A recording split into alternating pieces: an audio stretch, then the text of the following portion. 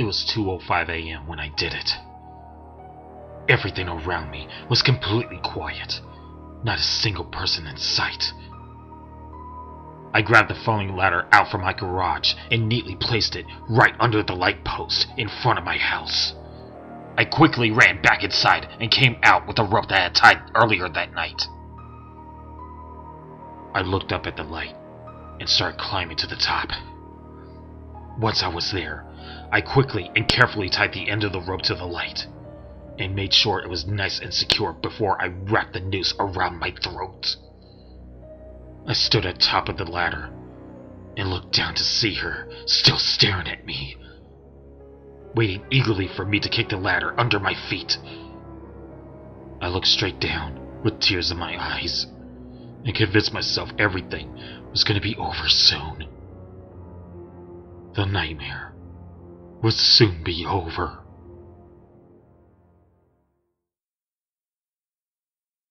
This is how it began.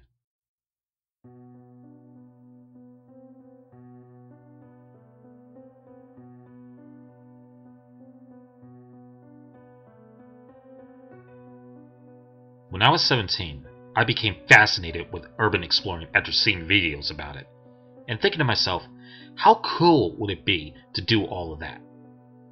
I actually convinced my best friend to come with me on my first expedition to an old school that had been abandoned for years because of its funding issues.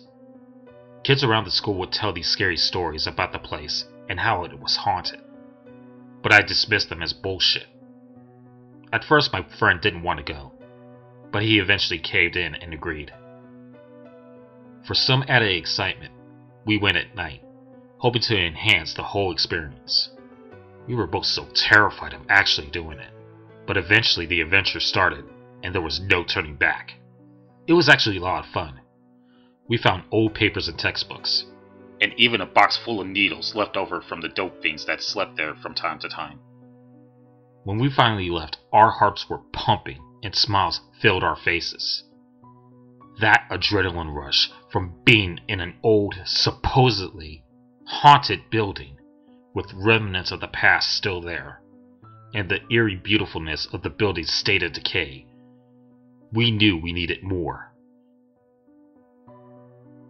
After that night, my friend actually became obsessed with exploring old abandoned buildings, and he especially liked the ones that were supposedly haunted. Both he and I were very big skeptics when it came to the paranormal. But the thrill was still there. Exploring became our hobby. It was much more fulfilling than just staying at home and watching movies or something. So we made it our thing. Every Friday night, we would go to a new place that was haunted and spend about two hours looking at everything we could find. It wasn't always easy, as abandoned buildings were not that common in our area. So sometimes we would have to go back to the same places we had already visited before. Still, we didn't care. It was just some of the best fun I have ever had. Until all the fun suddenly ended when my friend told me about Crimson Mansion. It was Thursday morning, and my friend had come to pick me up at my house so we could go to school together. It was a routine moment, except this time, before I could even sit down, he smiled at me with excitement. I found the perfect place for us to go tomorrow, he said, his eyes lightened up as he told me. Oh, yeah? Where at? I asked. I was talking to this guy in a chat room yesterday. You know, just asking people about any abandoned places that they knew about so we could go visit them. Anyways, I started talking to this dude that tells me there's an old mansion in the middle of the woods that used to be owned by a very wealthy Japanese family. And get this apparently, a lot of people died around there. Oh shit, that's fucking brutal. Where's it at? I wasn't exactly sharing my friend's excitement. It sounded sketchy, but I listened anyway. I don't know the name of the actual place, but the guy called it Crimson Mansion. It's like an hour from here. And he said if I wanted to see something really cool and creepy, that I should go there. Oh, and he tried to scare me by saying, Legend has it that a particularly evil spirit lives in the mansion, so beware. So you know what we have to do. Go at night! To be quite honest, as much as I didn't believe in the paranormal, what the guy told my friend certainly creeped me out a lot. I didn't want to look like a little bitch, so I pretended not to care, telling him that we're going to have the time of our lives. We went to school, and our day played out as usual with nothing exciting. But the next day that was ahead of us, that morning, I told my mom that I was going to sleep over at my friend's house, and that I'd be back by the following day. I got picked up, went to my classes, and ended the day with positive note. Then, it was time to get going. With my friend in his car, already looking up the way to get there on his phone, we unknowingly set off to the worst nightmare imaginable. We had been driving for about 45 minutes when we spied the beginnings of the forest, like it had sprung straight up from the ground. The trees were incredibly tall and very, very dark, as if a giant painted them all black. Well, this looks inviting, my friend said, looking up at the towering trees. We both watched as they rocked back and forth slightly. I didn't expect it to be this windy tonight, I said, gratefully that I always brought a warm jacket with me. The entrance should be somewhere a little farther on the right. Let me know if you see anything. As the sky grew dark, we started paying close attention to the road, hoping to find an entrance of some sort. Finally, after about 20 minutes, we discovered a road that led into the woods. There was just one small problem. That point of ingress was closed off by a metal fence with a big sign on it that read, No Trespass. It was kind of weird. I thought it would say, No Trespassing. But regardless, we parked in front of the gate, got our stuff, and climbed over the big metal fence. There was no path to guide us, just overgrown bushes and trees all around. We turned on our flashlights and proceeded into the forest. The wind was blowing really hard by that point, and was getting pretty cold, but we kept going. So, did this guy tell you exactly how to get there? I asked. I really did not want to get lost in the woods. He said it was literally just a straight shot as soon as you hop over the fence. So, let's just keep going straight. It wasn't long until we found a clear path that was directly in front of us. We looked at each other, laughed with excitement, and marched on. Suddenly, a couple of feet away, we saw a house.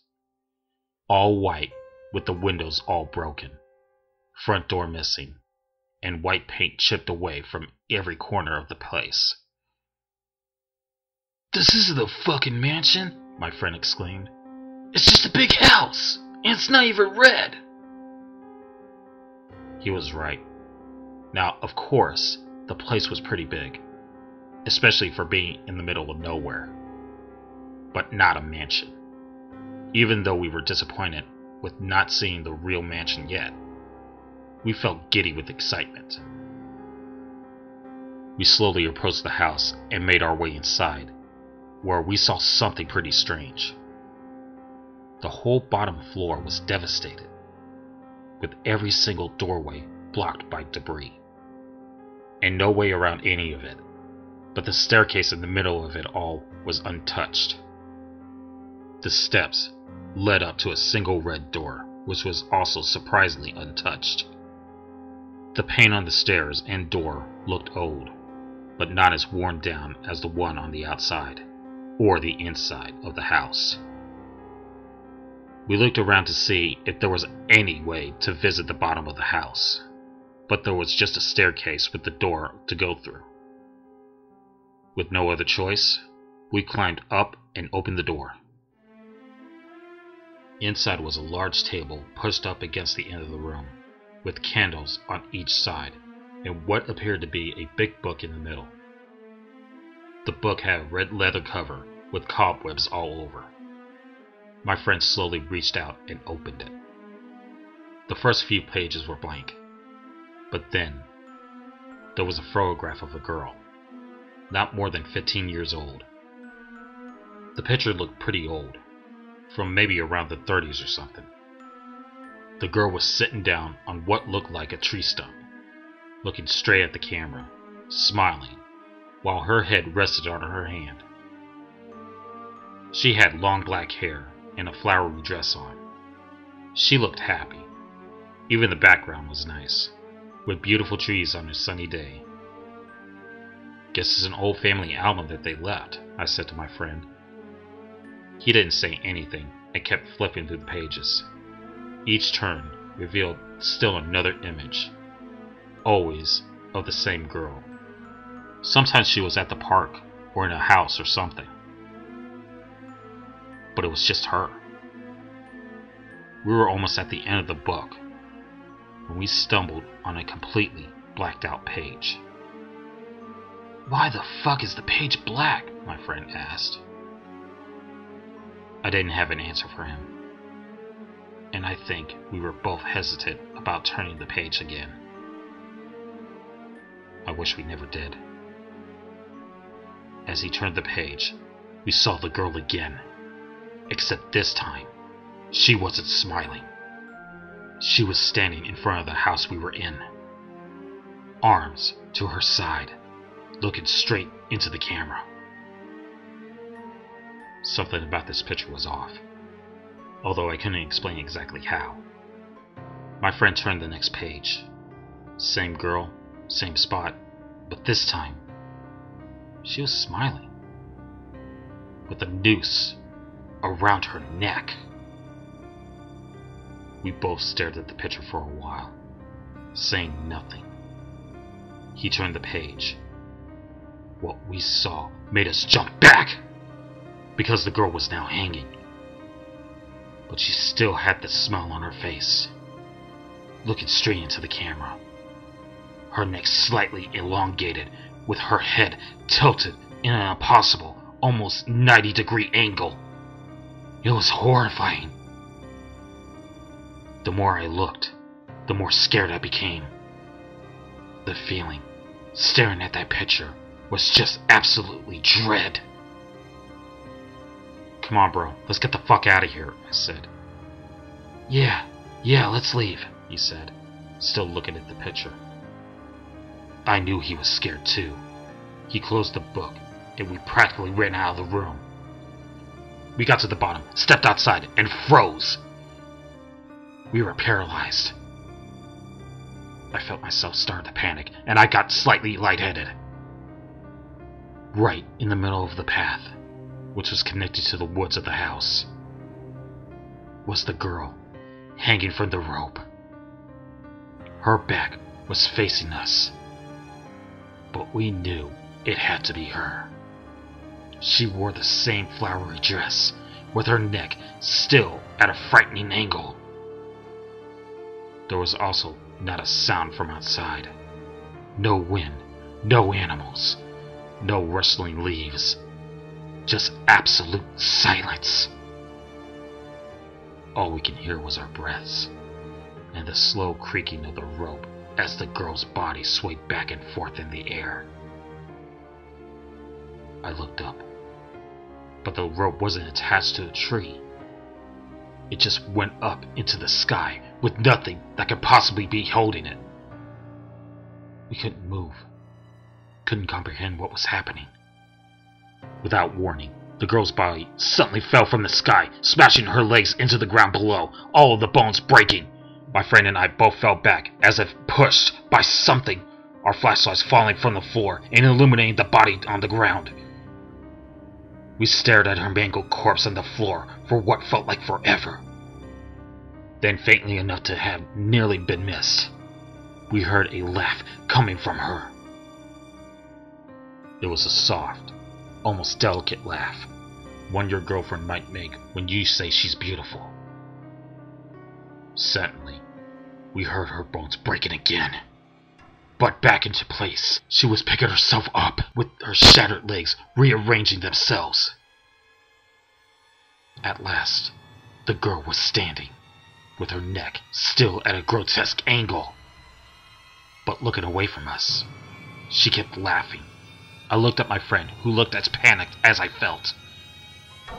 I quickly looked back at the girl as her arms started lifting in front of her. With her arms fully stretched out in front of her, she began turning, but only her top half was moving. Her legs stayed facing forward as she twisted around and revealed her face. The same twisted smile in that picture was exactly what we saw. Her laugh grew distorted, and at the moment our flashlights went out, we both screamed. Only a second later, light came back in our flashlights. The girl was gone. My friend looked at me, his eyes wide. Run! We both snatched our flashlights and ran back the same way we had came, sweat pouring down my forehead and my heart beating out of my chest. I ran faster than I had ever before. We kept sprinting into the night, but something wasn't right. The path we had taken hadn't been this long. As the thought occurred to me, that mocking laughter started up again, seemed to come from directly behind us. Tears welled up in my eyes, blurring my vision, and making me feel like we're coming more and more slowly. Exhaustion started to set in, and I felt my limbs grow heavy. Right before I gave up, the path ended. I could see the fence. I ran through the thick bushes and branches and double timed my way up the fence. What's on the other side, and next to my friend's car, I stopped and looked back. Nothing. Just the fence, the trees, and the darkness. And no sign of my friend. I listened to hear maybe he was running up. But I heard nothing. I called out to him, but I got no answer. Several minutes had passed as I kept screaming out for him. I knew that I couldn't go home alone. I had to find him. Summing up all of my courage and trying to push my fear aside, I cleared the fence and started running back to the house. I found it almost immediately. In full panic mode, I stood in front of the door and called for my friend. A voice answered me from inside the house. Without thinking, I ran inside and went up the stairs, coming again to that door. I can hear someone moving. So I swung the door open, revealing the table, and the book, and the lit candles. But nothing, and nobody else. As I stepped into the room, the door slammed behind me. I rolled back and tried to open it, prying at it with my fingers, but nothing helped. Part of my mind insisted that the wind had been responsible, but my fear was coming back. And it only escalated when the book on the table flung itself open. Even from my place near the door, I could see a picture of my friend hanging in front of his house with his head almost completely on its side. I could barely breathe, but I saw that there was a second picture behind the page. I don't know what compelled me to step forward and turn it, but I did. The last page of the book was a picture of me, hanging with my neck and face just like my friend's hanging in front of my house. The candles went out, and I heard her laugh right behind my ear. Before I could scream, her hand grabbed my face and covered my mouth and eyes. And I felt like I was free falling into nothingness. I thought it would never end. But I suddenly opened my eyes and found myself at home, in bed. No. I thought. It couldn't have been a dream. It wasn't a dream. I turned on my bedside lamp and started crying when I looked around the room. The picture of the girl was plastered all over my walls, covering everything. For some reason, though, my fear completely subsided. I went downstairs to my garage, grabbed some rope, and tied a noose. I never tied a noose before, and yet I did it without hesitation. Perfectly. I couldn't stop myself. And for some reason, it didn't bother me. I was actually happy. The pain wouldn't last for much longer. I opened my garage door and brought my father's ladder out, placing it under the light post right in front of my home. I looked down and saw her. The girl, gazing upward, her head still tilted on her deformed neck. Tears in my eyes. I jumped.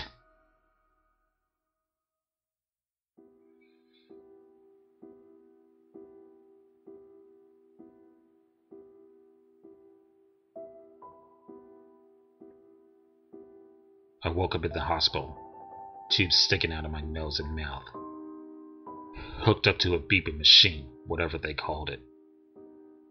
I looked around, but no one was there. I went back to sleep. Waking up again, all the tubes and machines were gone, just my parents who hugged me as soon as they saw my eyes open. My father was crying. My mother kept saying, Why would you do this? Apparently, I woke my dad up when I opened the garage door and dragged the ladder out. So when he went to see what I was doing, he saw me jump and saved me. He asked me if I had made a suicide pact with Sam, my friend. I asked why, and he said that his parents found him hanging in front of his house, just like I would have done if my father hadn't stopped me. I tried to explain what happened that night, but of course nobody believed me. My parents kept saying I was making things up, or that it was just the shock of almost dying. At one point, the police came in and started asking a bunch of questions about what I knew and what happened when I went out that night. I still couldn't think straight, but I managed to tell them everything. They both looked at each other and said very calmly, Son, Someone saw your friend's car near a patch of forest in the middle of nowhere and called it in. Some officers went to check it out and saw that the keys were locked inside. He also found this. Is this yours or is it his? One of the officers handed me a picture. It was her. The first picture we saw of her in that book. A peaceful scene indeed. I started bawling. My parents told me I was going to stay in the hospital for a while because they wanted me under suicide watch, and I couldn't have cared less. It's been a little over three years now, and my life has somewhat returned to normal. While under suicide watch, the cops told me that they investigated the house I had talked about, but found absolutely nothing. It somehow didn't surprise me and everything was left at that. When I got out of the hospital, I burned the picture and never went exploring again. I haven't even seen her again, but I still catch glimpses of her sick, twisted face in my dreams sometimes. Or more appropriately, my nightmares. I don't know what happened. I don't know if I'm crazy or if there was something wrong with me that night. But all I know is that whoever that girl is, she has my friend. And I am so, so sorry.